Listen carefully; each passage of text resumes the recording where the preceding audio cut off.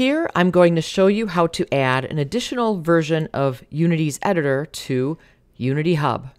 So at this point, I'm assuming you already have Unity Hub installed. You probably have an editor version installed.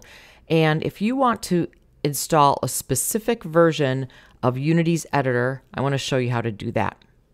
So what I want to do is go over to installs and it'll show me the versions of Unity editor that I already have installed. Now, I don't have the one I'm looking for. Right now, I only have 2022 3.3, and I'm looking for 2022 3.37 to match the rest of the people I'm working with. So, what I want to do is go to Install Editor, and it will suggest some, like for instance, Unity 6 Preview here at this time, a couple of other long term support versions that it's recommending. However, it's not the one I'm looking for. Notice this is 42. So what I want to do is go over to this archive link. And then there'll be a link here. It says visit our download archive for access. So to the long-term support. So I'm clicking on that and a browser will open bringing you to the page of those archives.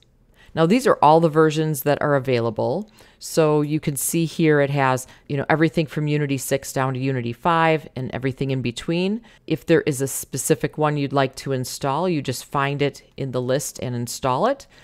For me, right now, I'm looking for 2022 337. So that's right right here.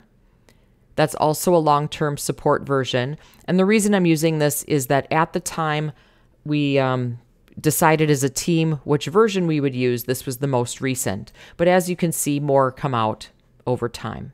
But to stay consistent, we're doing that. Then we don't have any inconsistencies when we're sharing files. So all I have to do is click this install button and it will ask me if I can open Unity Hub, which I actually already have. So I'm going to say open Unity Hub. And then the rest of the install process will take place here.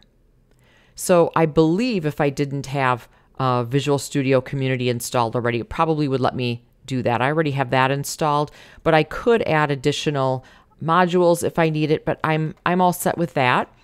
And I'm going to go ahead and click install. Also, before I go ahead, make sure you have enough space to install. So now this will take a little while.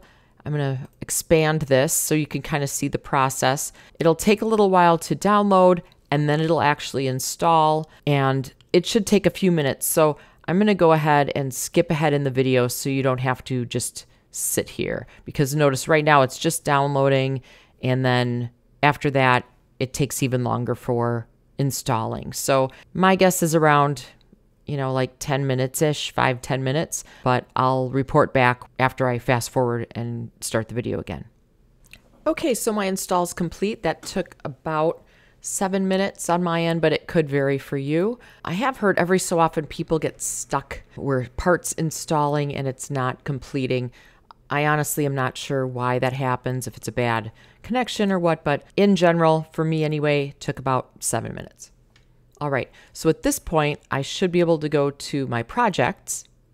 And if I say new project, up at the top now, it gives me my editor options. So this is the one I just installed, the 2022 337. Otherwise, I had this other version. So you just choose the one you'd like to start in, and then, you know, I can make a project from there. So I hope this helps you find how to install different versions of the Unity editor.